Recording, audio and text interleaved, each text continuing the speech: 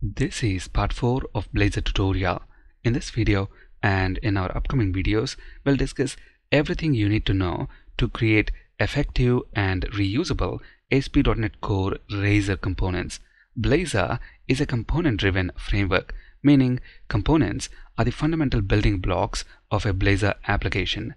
They can be nested, reused, and if implemented properly, can even be shared across multiple projects component files have the extension .razor. So maybe for this reason, the terms Razor components and Blazor components are used interchangeably and they usually refer to the same thing. Component file names must start with an uppercase character. If you add a component file that starts with a lowercase character, the code will fail to compile and you'll get an error stating component names cannot start with a lowercase character. Now, take a look at this counter component that we got out of the box when we created this Blazor server project. As you can see, it's a combination of two things.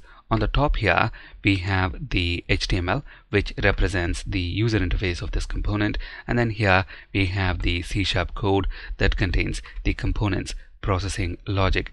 Every time this button is clicked, we want to call this increment count function. And this is wired up using this on click attribute. So every time this button is clicked, this function is called and this function increments this private variable value by one. And then to access this variable value within the HTML, we prefix the variable name with this at character. At the moment, this is how the counter component is rendered by the browser. Notice this static text current count. Let's say we want to change the font style of this text. One way to do this is by including the style attribute on the paragraph element and then set font family to something else like Monotype Corsiva. Reload the page. The new font family is applied as expected. At the moment, we have hard-coded the font family name within the HTML right here. Instead, let's say we want to retrieve this value from a variable. So we create a private variable of type string. Let's call the variable font family. To retrieve this variable value from within the HTML, use the at character. Notice we also have IntelliSense. We still see the same font family. Now let's change this to something else, maybe Verdana.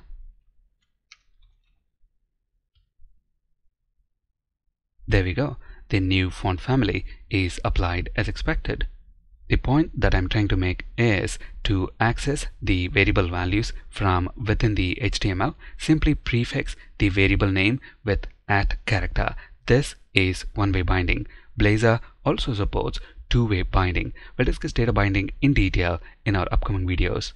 C-sharp code is included in this at code block. It's also possible to have more than one code blocks. When this application is compiled, the HTML and C-sharp code are converted into a component class.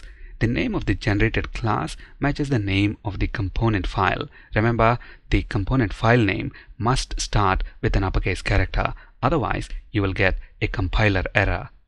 Notice Every time we click this button, the counter value is incremented by 1 and we see the updated value without the entire page being refreshed. Remember, Blazor server project runs on the server. A SignalR connection is established between the server and the client browser. After the counter component is initially rendered and when the user clicks the button, the information about the click event is sent to the server over the SignalR connection. In response to the event, the component is regenerated, but then the entire HTML is not sent back to the client. It's only the diff that is the difference in the render tree. In this case, the new counter value that is sent to the client browser.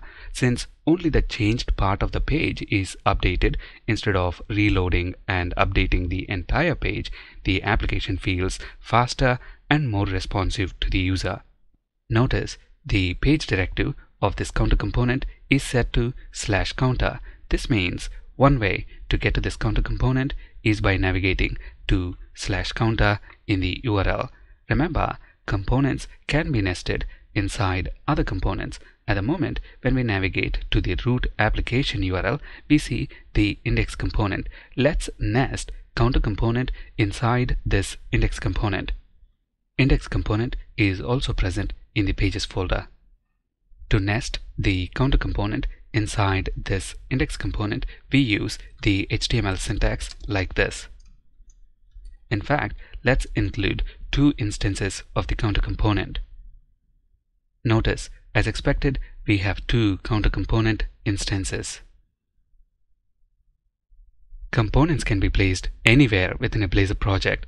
It's a good practice to place components that produce web pages in the Pages folder. In this example, all these components, index, fetch data, and counter, produce web pages, so they are placed in the Pages folder. On the other hand, reusable non-page components are usually placed in the shared folder. If you want to, you can place all these components in a completely different custom folder within your project. Remember, a razor component is a combination of two things, HTML markup and C-sharp code. In this example, both the HTML and C-sharp code are present in a single file. This is fine for a simple component like this counter component. For a more complex component, it is usually a good practice to separate HTML and C Sharp code into their own respective files. It's not only good from maintenance standpoint, it's also easy to unit test. There are two approaches to split component HTML and C Sharp code into their own respective files. Partial files approach and base class approach. We'll discuss both these approaches with examples in our next video. That's it in this video. Thank you for listening.